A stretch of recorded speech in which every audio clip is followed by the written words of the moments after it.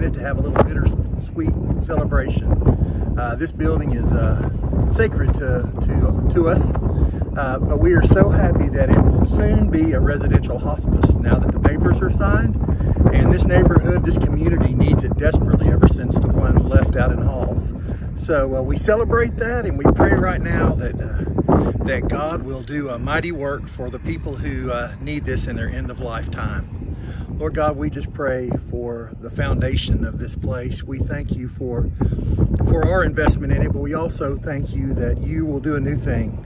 We pray for all those who will come here that they will find the comfort and peace that we found here.